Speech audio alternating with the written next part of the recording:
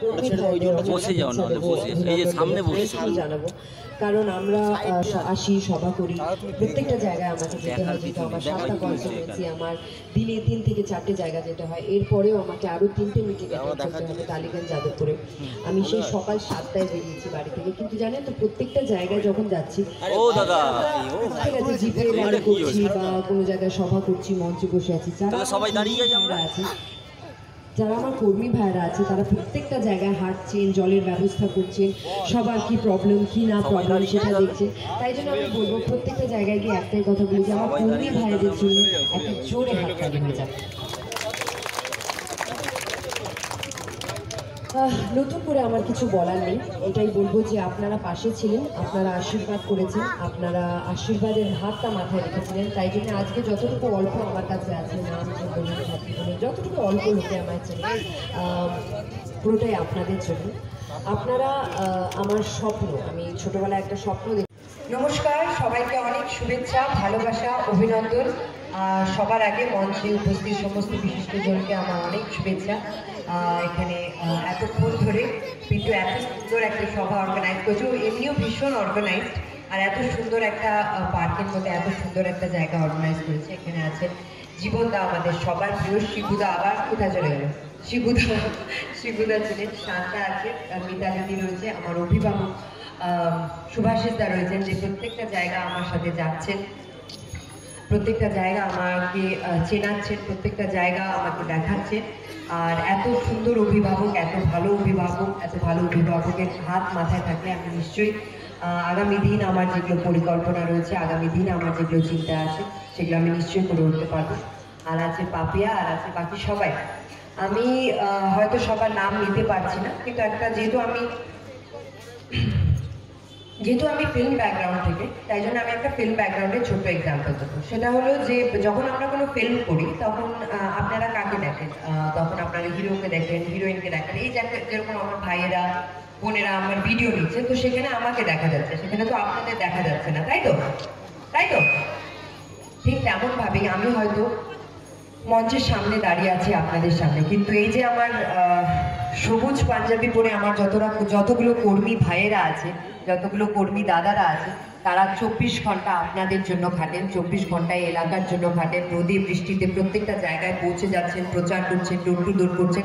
তাদের সবার জন্য আমার, আমি মাথা নত করে তাদের থ্যাংক ইউ জানাই, আর তাদের সবার জন্য একটা জোরে হাত দেয়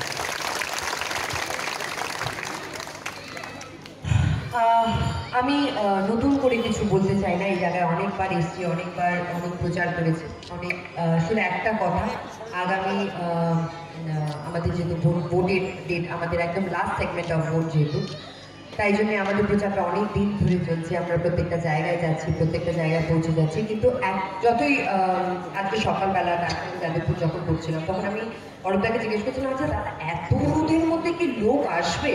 কিন্তু বিশ্বাস করুন, রোদ হোক, আমি কালবৈশাখী মাথা মাথায় নিয়ে, ছাতা মাথায় দিয়ে অব্দি মিটিং করেছি। কিন্তু একটা জিনিস অবিশ্বাস্য, একটা জিনিস আমি জানি না, আমি সবসময় এটাই বলি যে আগের জন্মে পূর্ণ করেছিলাম হয়তো কোথাও কোনো, তাই জন্যে যাই হয়ে যাক না কেন, ঝড়, বৃষ্টি, যাই হয়ে যাক না কেন, মানুষ সব জায়গায় আসছে আর মানুষ আসছে আশীর্বাদ নিয়ে, ভালোবাসা নিয়ে, বিশ্বাস নিয়ে, চোখের স্বপ্ন নিয়ে।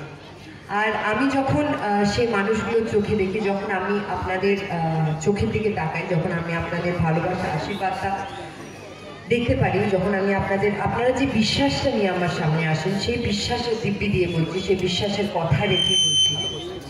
আমি আপনাদের পাশেই থাকব, আমি আপনাদের জন্যই কাজ করব, আমি আপনাদের হাত ধরে একসাথে এগিয়ে চলব। কিন্তু তার জন্য আপনাদের আমার সমর্থন করতে হবে, আপনাদের আশীর্বাদ করতে হবে, যাতে করে আমি আপনাদের নিয়ে আপনাদের সাথে একসাথে এগিয়ে যেতে পারি। সেই সমর্থনের হ্যাঁটা আমি একবার সবার মুখ থেকে শুনব কি? একটু জোরে শুনি না? নতুন কে করে কিছু আমার বলার নেই, সবাই এখানে সব কিছু বলে দিয়েছে, তাই জন্য এটাই বলব। আপনারা কি জানেন কয় নম্বরে আমাদের ভোটের ইয়েতে রয়েছে, ইভিএম মেশিনে। ওইদিকে সবাই জানেন